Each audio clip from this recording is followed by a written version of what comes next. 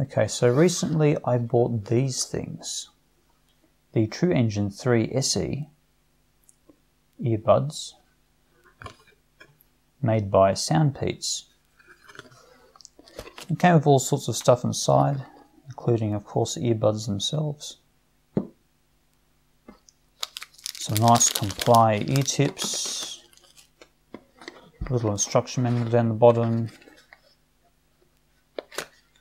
you know, the usual stuff, USB-C cable, little one, which is nice, more earbuds. But that's not what I'm here to talk about. What I'm here to talk about is this thing.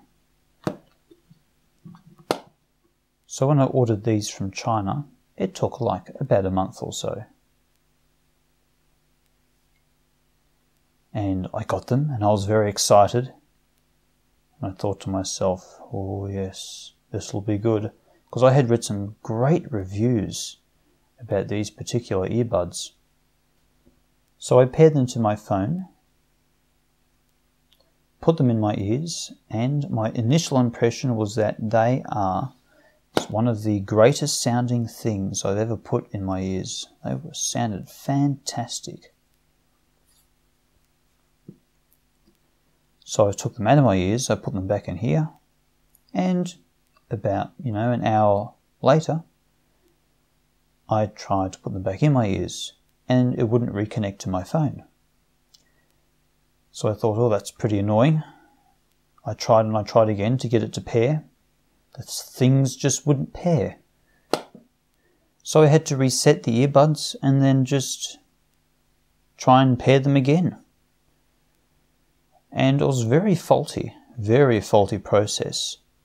This right earbud here is definitely faulty. It often refuses to pair, even in mono mode. It has also a very slight buzzing sound as opposed to the left one, which sounds fantastic. And it also turns itself off as well. It disconnects and turns itself off. So that was um, quite a disappointing experience.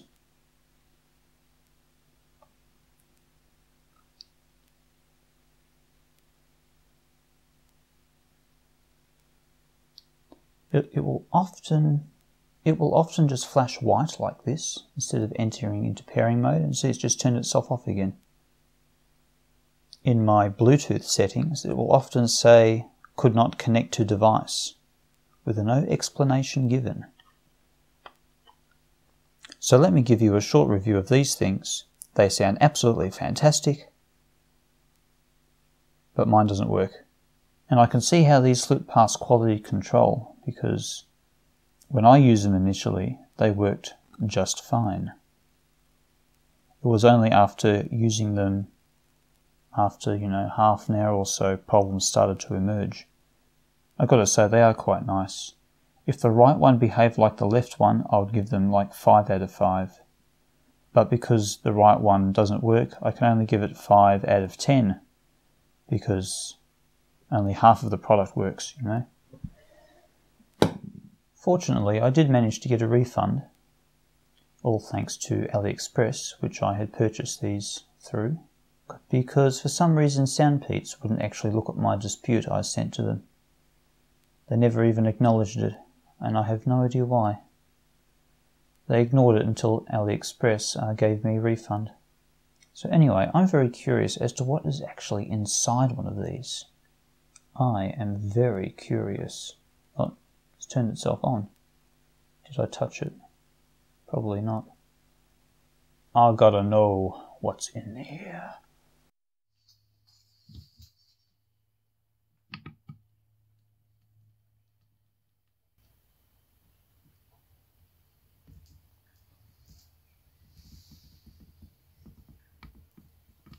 So here I am.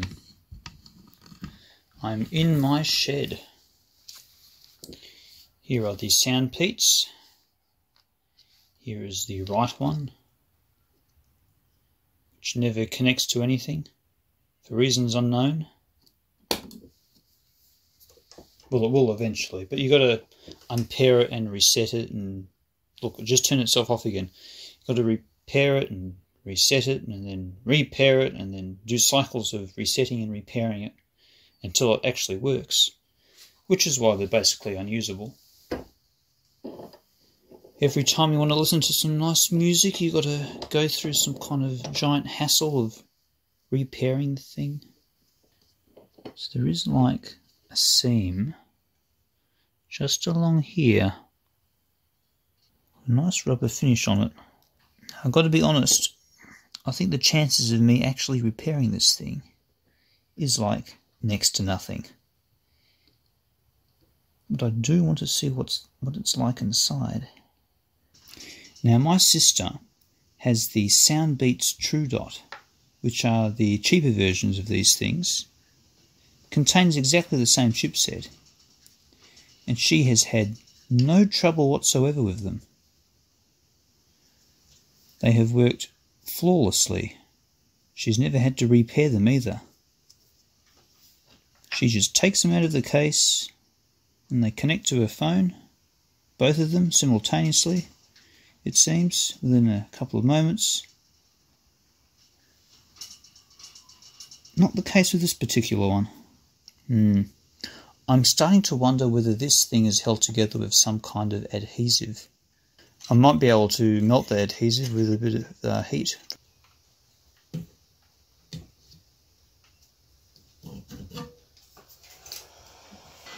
Nice and warm. Oh yes.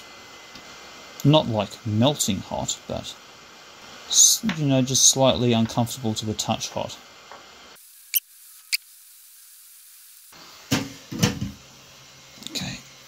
Just open up now. Got any leverage? it's durable, this thing. Well made, I tell you. This thing is glued. Oh, do I see some? Oh! Oh! I accidentally pulled off the wrong part. Interesting that We've got two drivers here. Both with quite strong man magnets on them. But only one pair of wires. What's under here? Under this little section. What is that? I think that might be the battery. What does that say? Oh, yes. 0.204 watt hours. But that's not where the electronics are. Oh, hey. I want the electronics. I found the little neodymium magnet. It's just here. There's actually two. There's one here underneath the right symbol. And there's another one just situated here. It's not coming apart easily. Man.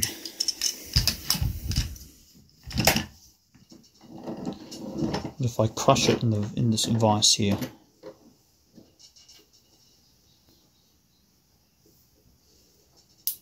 Oh, I hear cracking plastic. Did that do something? Seam opening? Yeah, okay.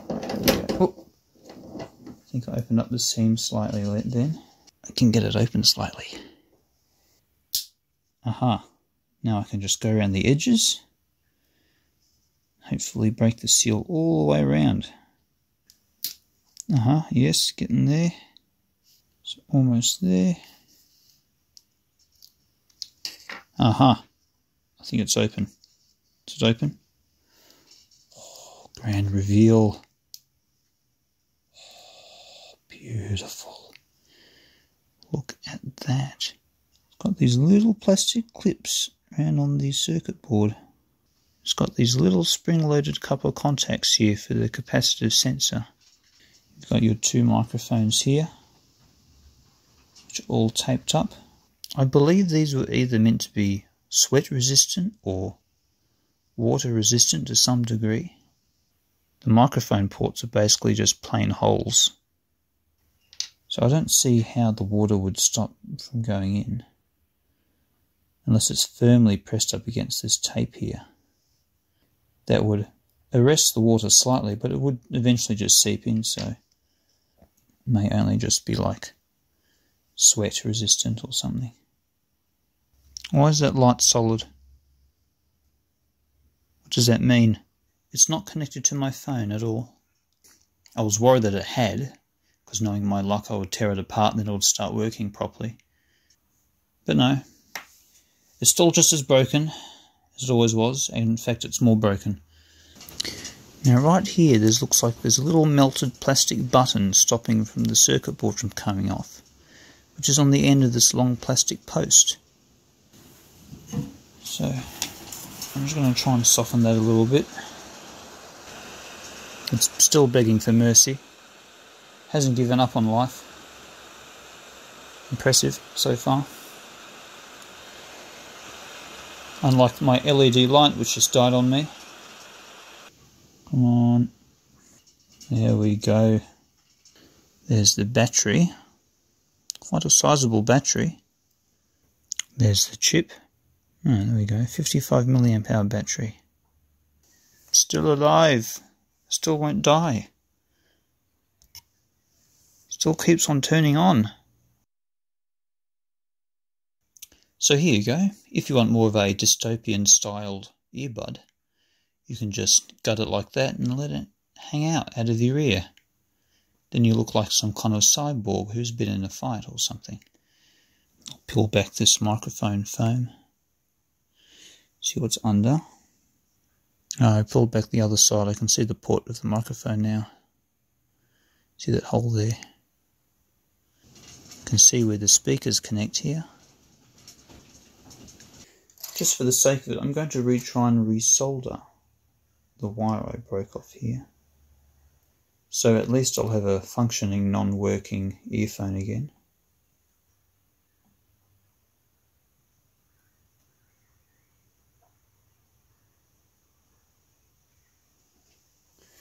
There we go. There we go. Does that look pretty fashionable?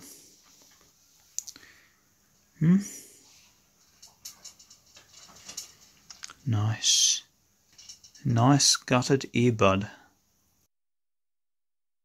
Okay, so as one last desperate attempt, I've stripped all the wires and melt meltable uh, materials off it, and I'm just going to heat treat it, also known as a solder reflow. I've just cranked the temperature up to about 324 degrees. Now I'll make it higher. Oh, 340 show no mercy. Hmm, it is starting to smell. Is that rubber getting soft? No, that's real soft, that rubber. What do they put on this tar or something? All the tar is coming off, whatever this stuff is. Sticky, black smells. Oh look, I've desoldered the chip. Oh no, I didn't. The label came off the chip. Yeah. Okay. I cooked it for a little while now. Till it was nice and hot. Yeah. Well, that solder's soft down there. So hopefully that reflowed some of the solder. Hello, future me here. I would just like to add that poking around in the soft melted rubber completely destroyed the earphones, as I believe I knocked off a bunch of components off the board. But despite my stupidity, I did manage to discover that you can completely reassemble the earbud till it looks almost as good as new. So it can actually be repaired by someone with a brain. Anyway, after reassembling them, I took them apart a second time for a closer inspection underneath a microscope. I have a stereoscopic microscope, which you will not be able to appreciate because you only have one eye, where I have two eyes, but you'll get a good idea. I did notice a little array of little blobs of solder on the circuit board which looked like it should be the home for some little BGA chip. I don't remember knocking off a chip of that size off the board. But what does it matter now? Anyway, after doing that, I thought to myself, why not just cook it again? And what emerged from the goo was the chipset which Soundpeats advertised on their product. That Qualcomm 3020 chipset. So it's the real deal. So now I think I should come to my conclusions. It's not fair for me to leave anything close to what I would call a review on these things because only this one here actually works well. I've been using this one around the house, just had it in one ear because there's only one of them of course. And the connection it makes, you know, after I put it in pairing mode is, uh, you know, quite reliable. It never randomly disconnects, unlike the right one, and it also sounds fantastic. The microphones pick up my voice really well. In fact, the microphones pick up my voice so well that I can even use it for a voice assistant like Bixby. And if you ever use Samsung's Bixby, uh, I'm sure that would impress you. So I would give this one 5 out of 5. I would give this one nothing because it no longer exists, because I destroyed it basically. But while I was destroying it, I was very impressed by its construction. They're very durable. And another thing I noticed was that when you get them open, it is actually possible to repair them in the sense that you can replace the battery if you can find a replacement battery for it. You know, so that's in this increasingly disposable world that we live in. It's quite um, impressive that a uh, Chinese product is actually more repairable than probably a Apple EarPod or whatever they call them. AirPod what are, what are they called? An eye ear. No, that would be terrible. They wouldn't call it an eye ear. Anyway, I did manage to pull apart the other one and reassemble it without any trouble. So it is possible to repair it. Just don't do what I did and poke around in that black goo while you're trying to do a solder reflow. That was uh, probably the most stupidest thing I've ever done. But, you know, I just couldn't resist. It looked so black and gooey. I, I had to poke it. Yeah, the right one would always randomly turn off without warning. Or disconnect. Fit quite comfortably in my ear as well. So, I'm running out of things to say. I think I better go. Right. Goodbye. Hope you enjoyed this video and found it interesting.